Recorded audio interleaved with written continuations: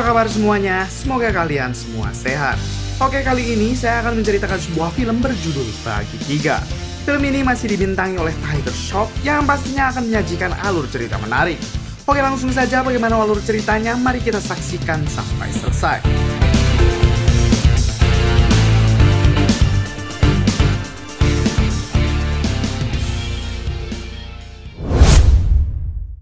Di awal film kita diperlihatkan anak kecil bernama Vikram sedang dihajar oleh teman-temannya. Kemudian Vikram memanggil adiknya yang bernama Roni. Di sini Roni mengatakan kalau kalian memukuliku, aku akan tetap tenang. Namun ketika kalian menyakiti kakakku, maka aku akan menghajar kalian.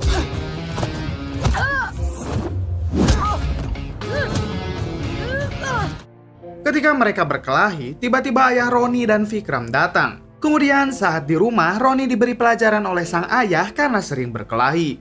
Diketahui kalau ayah mereka adalah seorang inspektur polisi di daerah tersebut. Vikram sendiri merasa bersalah karena setiap kali Roni berkelahi, itu karena Roni berusaha melindungi kakaknya.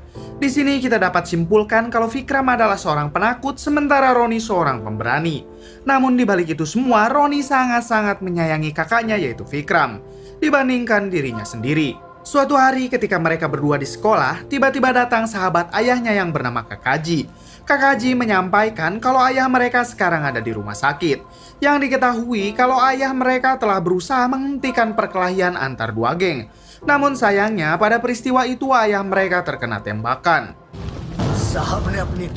Di rumah sakit, si ayah yang sekarat memberi wasiat kepada Roni dengan mengatakan mungkin baru kali ini ada seorang ayah menyuruh anaknya yang paling kecil untuk menjaga kakaknya dan jangan pernah meninggalkannya. Roni pun berjanji kepada ayahnya kalau ia akan menjaga kakaknya sampai kapan pun dan tidak akan pernah meninggalkannya dalam kesulitan. Setelah itu ayah mereka pun meninggal.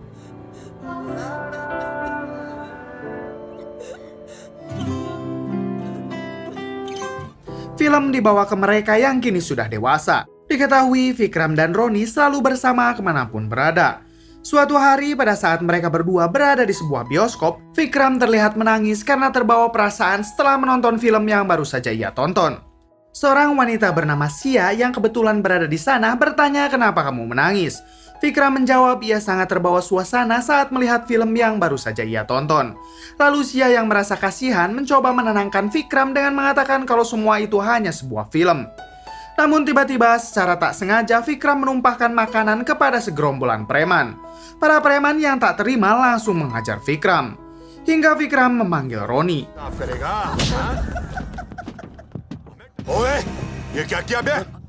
Roni?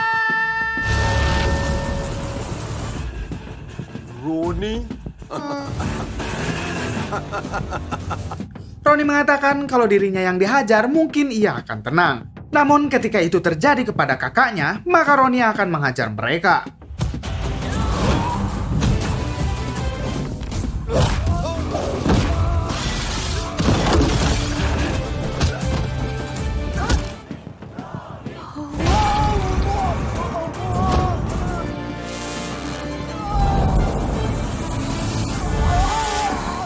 Sementara Sia yang melihat itu sangat kagum kepada Roni. Setelah itu, Kokoji sahabat ayahnya dulu mencoba melerai perkelahian tersebut. Ketika di rumah, Kokoji meminta salah satu dari mereka harus ada yang jadi polisi, karena pihak polisi sangat membutuhkan orang seperti ayah mereka dulu. Vikram tentu menyarankan Roni untuk menjadi penerus ayahnya. Namun Roni mengatakan kalau ia sudah tercatat 33 kasus perkelahian dan hal itu akan merusak citra polisi. Roni lalu menyuruh Vikram untuk menjadi polisi. Vikram sendiri merasa minder mengingat ia sangat takut kepada para penjahat. Namun Roni meyakinkan ketika Vikram sudah memakai baju polisi, maka para penjahat itu juga akan takut kepada Vikram. Singkat cerita, Vikram kini sudah menjadi polisi. Di hari pertamanya, ia diantar oleh Roni ke kantor kepolisian dan benar saja semua orang sangat takut dan hormat kepada Vikram yang menggunakan seragam polisi. Di sana kita diperkenalkan dengan inspektur bernama Sarat dan inspektur Tripati ini orangnya yang mengurus semua dokumen milik Vikram. Namun tak lama kemudian ada gerombolan orang yang membakar seseorang tepat di kantor kepolisian. Anehnya, para polisi itu tidak berani berbuat apa-apa. Yang ternyata mereka adalah anak buah dari seseorang bernama IPL. IPL dan gengnya sangat ditakuti di kota ini termasuk para polisi yang ada di sana. IPL mengatakan kepada para polisi untuk jangan sekali-kali mencampuri urusannya. Kalau tidak ingin keluarga kalian yang menjadi korbannya. Setelah mereka pergi, Fikra mencoba bertanya kepada Inspektur Saran, kenapa polisi hanya diam saja melihat mereka membakar seseorang di depan kantor polisi. Inspektur Sarat bercerita kalau Tuan Tripati pernah mencoba mengusik mereka, namun mereka membalasnya dengan menghabisi anak dari Tuan Tripati. Dan semenjak saat itu, Tuan Tripati menjadi orang yang sama sekali tidak bersemangat untuk hidup. Ketika di rumah, Fikra menceritakan semuanya kepada Roni dan ia sangat takut menjadi polisi. Namun lagi-lagi Roni meyakinkan kalau Roni akan selalu ada membantu Fikram. Hmm, tukar-tukar. Berpindah ke markas IPL. Diketahui kalau IPL menjalankan bisnis sebagai penjual manusia ke negara Syria. Di sana mereka mendapatkan pesan dari partner bisnisnya untuk mengirim lagi 25 orang ke negara Syria. Kemudian kita diperkenalkan dengan partner IPL bernama Abu Jalal. Ternyata Abu Jalal sendiri adalah seorang militan pemberontak dan dia adalah dalang dari teror pengeboman bunuh diri.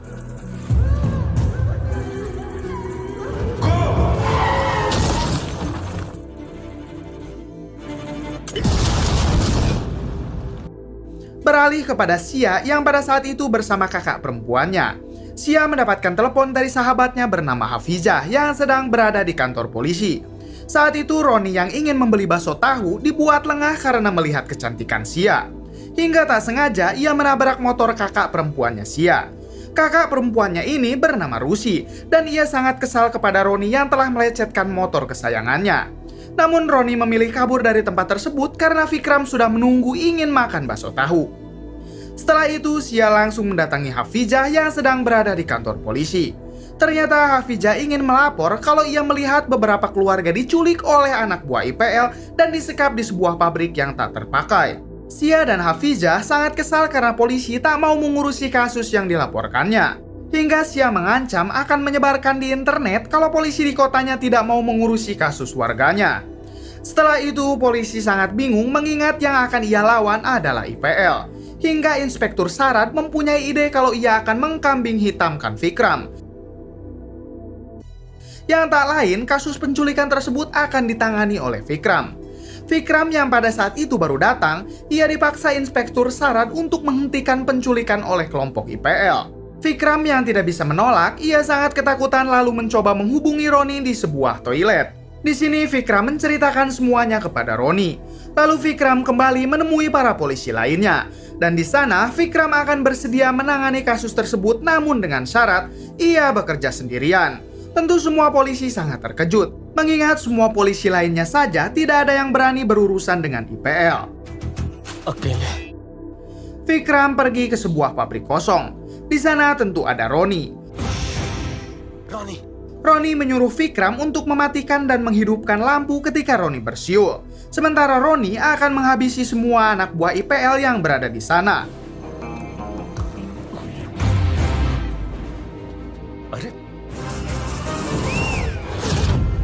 Setelah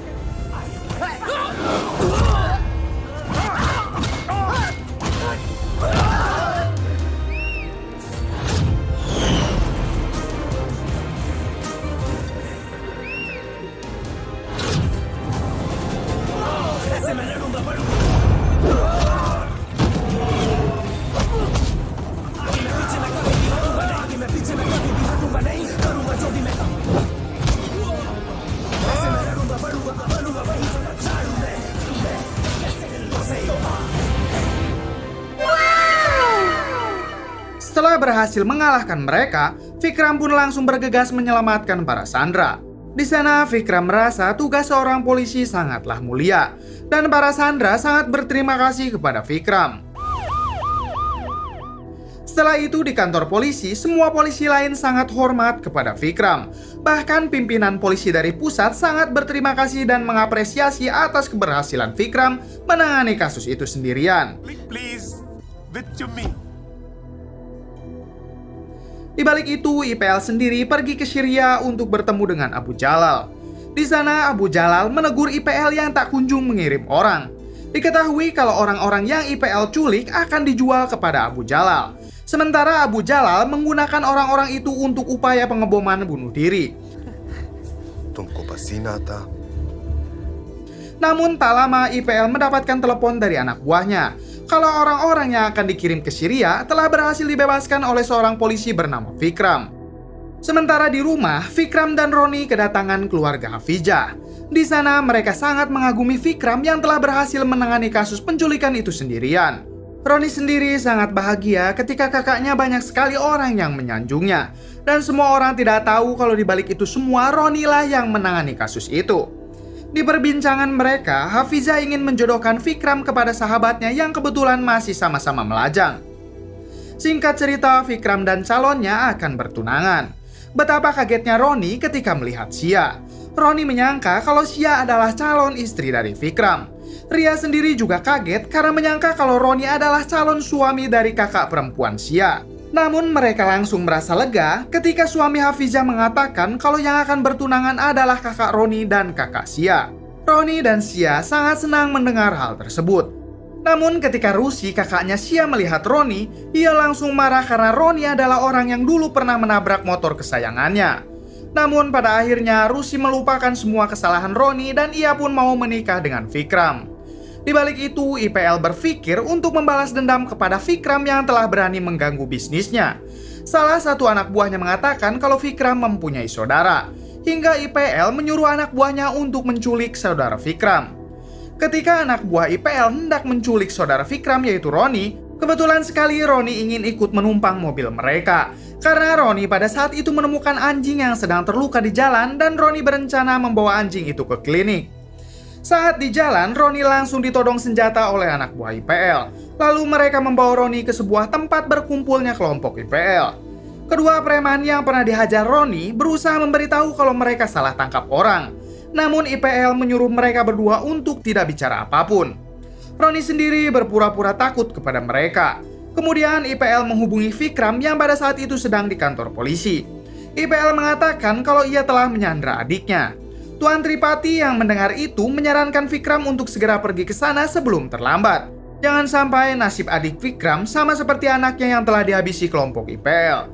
Lalu Roni meminta bicara dengan Vikram dan meminta Vikram untuk menyelamatkannya. Vikram sendiri paham yang dimaksud oleh Roni. Tak lama kemudian IPL menyuruh anak buahnya untuk menghabisi Roni sementara ia akan pergi.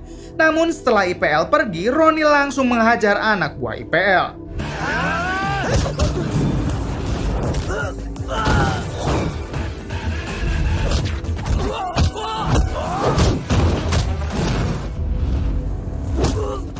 Tangan kanan IPL yang bernama Bajwa terheran karena adik Vikram ternyata sama hebatnya dengan Vikram. Roni pun menghajar Bajwa hingga sampai Vikram datang ke sana lalu menangkap Bajwa yang sudah tidak berdaya. Karena para polisi tahu kalau Bajwa adalah tangan kanan IPL. Esok harinya Vikram menyuruh Tuan Tripati untuk ikut membawa Bajwa ke kantor pengadilan. Namun di tengah perjalanan ada sebuah keributan. Yang ternyata pada saat itu Roni biang kerok dari keributan tersebut. Tak pikir panjang, Vikram juga langsung menyuruh untuk menangkap Roni. Alhasil Roni diborgol satu tangan dengan Bajwa. Namun saat di lampu merah, Roni melarikan diri. Yang tentunya mau tidak mau, Bajwa juga harus ikut berlari. Lalu Vikram memberikan pistol kepada Tuan Tripati dan menyuruh Tuan Tripati untuk membalaskan dendam kematian anaknya yang dulu pernah dihabisi oleh Bajwa. Tak pikir panjang, Tuan Tripati membalaskan dendamnya dengan menembak Bajwa.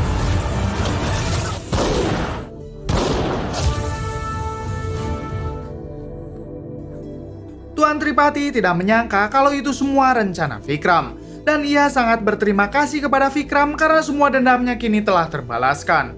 Beberapa kasus selanjutnya terus diberantas oleh Vikram sendirian. Yang padahal kita tahu itu semua karena Roni. Roni sendiri merasa sangat bahagia karena Vikram terus disanjung oleh semua orang. Di kantor polisi, Vikram sangat dihormati dan disegani. Bahkan ia juga langsung diangkat menjadi inspektur polisi dengan berbagai penghargaan. Hingga di suatu hari, Vikram diperintah oleh komisaris polisi untuk mengurus dokumen warganya di Syria. Namun Vikram yang takut, ia mencoba untuk mengajak Roni. Namun Roni menyuruh Vikram berangkat ke sana sendiri mengingat tugasnya hanya mengurus dokumen rutin lalu kembali pulang. Ketika di bandara, Vikram berpamitan kepada Roni dan istrinya. Di sana istrinya mengatakan kalau ia sedang hamil. Tentu Vikram sangat bahagia mendengar kabar baik tersebut. Beberapa hari kemudian, Vikram menghubungi Roni kalau ia akan segera pulang. Vikram menceritakan kalau saat pertama ia datang, ia kecopetan dan dompetnya hilang. Beruntung Vikram tak menyimpan uangnya di dalam dompet tersebut. Namun tiba-tiba Vikram dihajar oleh dua orang asing. Roni sangat marah namun ia tidak bisa berbuat apa-apa. Roni mengancam akan menghabisi mereka. Namun mereka mengatakan kami adalah anak buah Abu Jalal, kami tidak berdua, kami satu negara. Anything happens to my brother, I kill both of you. Singkat cerita, Roni dan Sia pergi ke Syria untuk mencari Vikram. Sesampainya di sana, Roni dan Sia melaporkan kejadian itu kepada polisi setempat. Namun semua polisi itu langsung melihat Roni ketika Roni mengatakan Abu Jalal. Ketua polisi yang bernama Bilal mengatakan kepada Roni untuk bersabar dan lebih baik segera pulang ke negaranya. Roni menganggap kalau para polisi di sana pasti sudah bersekongkol dengan Abu Jalal. Saat Roni dan Sia keluar, Tiba-tiba ada seorang pria Pakistan yang menyebutkan kalau ia tahu Vikram ada di mana. Lalu orang itu menggiring Roni ke suatu tempat yang ternyata orang tersebut adalah kumpulan pencopet. Di sana pencopet yang bernama Ahtar ini meminta semua barang yang dibawa oleh Sia dan Roni. Namun tiba-tiba saat Ahtar melihat Roni, semua teman pencopetnya telah dihajar Roni. Ahtar pun langsung ketakutan dan meminta maaf kepada Roni dan ia berjanji akan membantu Roni. Namun masalahnya, ia tidak tahu tentang Vikram karena tadi Ahtar menguping pembicaraan di kantor polisi yang sebenarnya ia tidak tahu sama sekali di mana Vikram. Hingga Roni mengingat kalau pada saat itu Vikram mengaku telah kecopetan dan sekarang ia meminta Ahtar untuk bertemu dengan kumpulan pencopet. Pada akhirnya Ahtar membawa Roni dan Sia bertemu dengan seorang pencopet senior hingga Roni menemukan dompet milik Vikram berada di sana. Lalu Roni menanyakan kepada orang itu di mana ia telah mencopet dompet Vikram. Sayangnya orang itu tidak mau memberitahunya. Alhasil Roni memberi sedikit sentilan. Pada akhirnya orang itu memberitahu kalau ia mencopet di sebuah hotel. Serta orang itu juga memberitahu nomor kamar berapa yang sempat ditinggali Vikram. Saat mereka hendak masuk ke hotel yang pernah Vikram singgahi, ternyata ada satu polisi yang mengawasi mereka. Polisi itu langsung menghubungi polisi Bilal dan yang lain. Sementara Roni dan yang lain sudah masuk ke kamar hotel yang dulu pernah Vikram singgahi. Mereka masuk ke sana untuk mencari ponsel yang dulu pernah dibanting oleh si pelaku. Di sana Sia berhasil menemukannya. Lalu Ahtar membungkus ponsel itu agar tidak tercampur dengan sidik jari orang lain. Setelah itu mereka hendak pergi dari hotel tersebut. Namun ternyata Bilal dan polisi lainnya sudah datang ke sana. Beruntungnya Roni dan yang lain berhasil pergi karena para polisi itu tidak sempat melihat Roni dan yang lain keluar. Kemudian Ahtar membawa mereka ke seorang temannya untuk mencari sidik jari pelaku yang terdapat di HP Pikram. Beruntungnya teman Ahtar berhasil menemukan identitas pelaku dengan meretas program milik kepolisian. Diketahui orang yang menculik Vikram bernama Jaidi. Mereka pun langsung mendatangi alamat rumah Jaidi dan menanyakan kepada para warga di mana Jaidi sekarang hingga mereka bertanya kepada para pemuda, dan pemuda itu malah bersiul seolah-olah memberi tanda.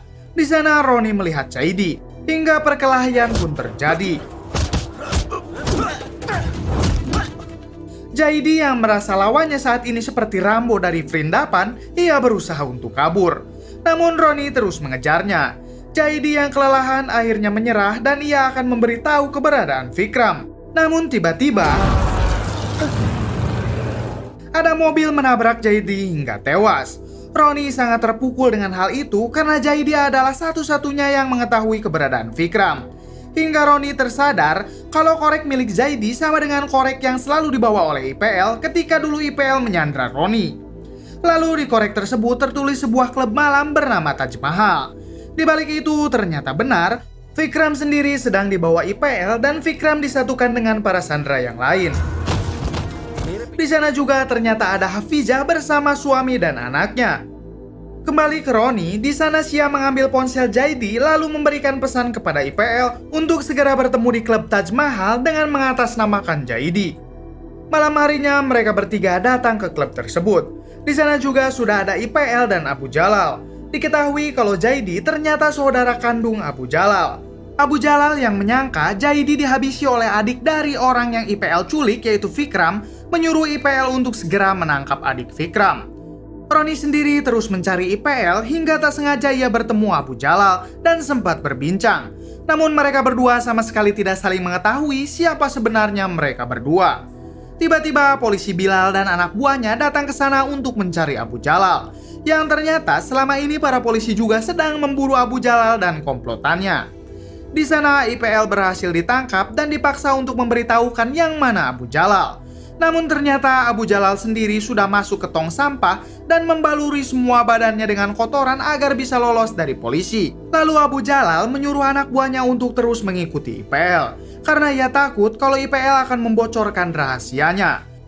Di sisi lain, IPL terus ditanya tentang Abu Jalal namun IPL tidak mau bicara apa pun. Hingga Roni mengajak IPL ke sebuah kafe dan memberikan sejumlah uang kepadanya. Hal itu sengaja Roni lakukan karena Roni sadar anak buah Abu Jalal sedang mengawasi mereka. Dan sekarang IPL dianggap telah bersekongkol dengan polisi. Kemudian IPL berusaha menyelamatkan diri dengan kembali masuk ke mobil polisi. Pada akhirnya IPL pun mau membuka mulut karena Abu Jalal sudah pasti menganggapnya sebagai pengkhianat dan ia lebih aman bersama Roni dan polisi. Di sini IPL memberitahu kalau Fikram ada di markas Abu Jalal dan tiga jam lagi Abu Jalal akan meledakkan bom di berbagai titik. Serangan pertama akan dilakukan di sebuah kedutaan. Hingga Sia dan polisi Bilal akan berusaha masuk ke kedutaan tersebut. Sementara Roni Ahtar akan menuju ke markas Abu Jalal dengan dituntun oleh IPL. Yang ternyata pelaku bom bunuh diri di kedutaan itu akan dilakukan oleh suaminya Hafija. Dengan Hafija dan anaknya menjadi sandra apabila suaminya itu tidak melakukan pengeboman. Bilal menyuruh anggota polisi lain untuk menangkap pelaku yang menyandra Hafijah dan anaknya. Sementara Sia dan Bilal masuk ke kantor kedutaan untuk menghentikan suami Hafijah. Roni sendiri mencuri senjata lalu menghancurkan pos pemeriksaan Abu Jalal.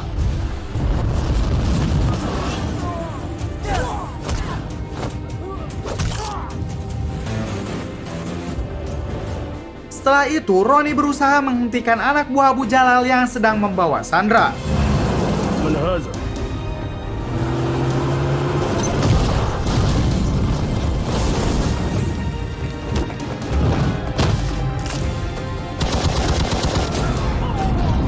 hingga ia berhasil menyelamatkan para sandra.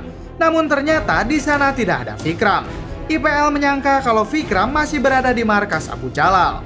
Roni pun langsung pergi ke sana. Sia sendiri bertemu dengan suami Hafizah lalu meminta untuk tidak meledakkan bom yang ada di badannya. Karena Hafizah dan anaknya sudah berhasil diamankan polisi. Pada akhirnya suami Hafizah mau melepaskan bomnya itu. Di balik itu, salah satu sandra yang hendak diselamatkan IPL dan Ahtar tak sengaja menginjak ranjau.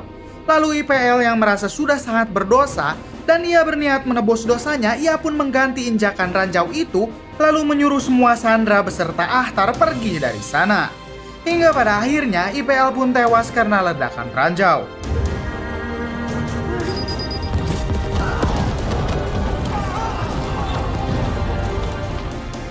Sementara Roni datang sendiri ke markas Abu Jalal, lalu menghabisi anak buah Abu Jalal.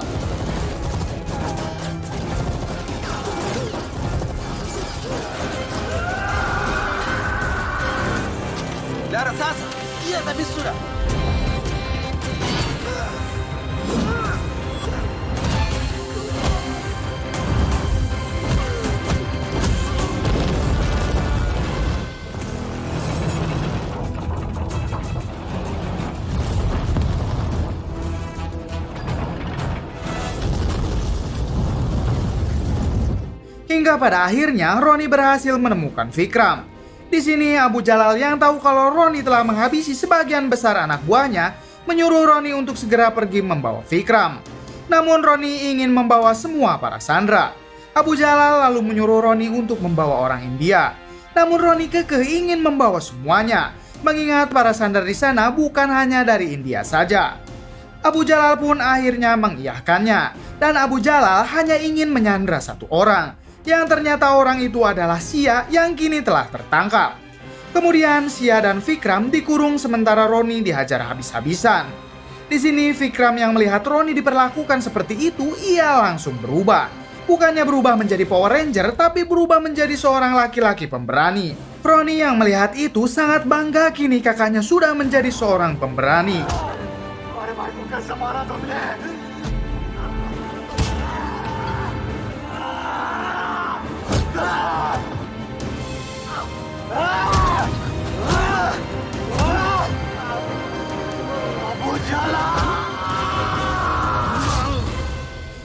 Berhasil menghabisi semua anak buah Abu Jalal, termasuk Abu Jalal itu sendiri, Vikram dan Sia menangis karena Roni sudah terkapar. Vikram dan Sia sangat terpukul karena kini kehilangan Roni. Namun tiba-tiba, Abu Jalal yang masih hidup mencoba menghabisi Vikram dan Sia. Hingga Roni bangkit dan mencekik Abu Jalal hingga menjadi almarhum.